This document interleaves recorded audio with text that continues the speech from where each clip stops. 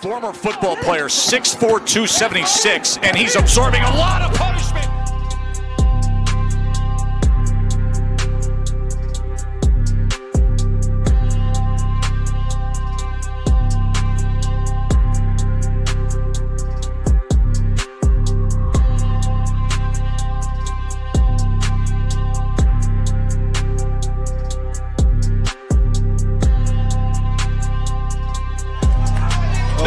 Body shot. Damaging left hand comes in.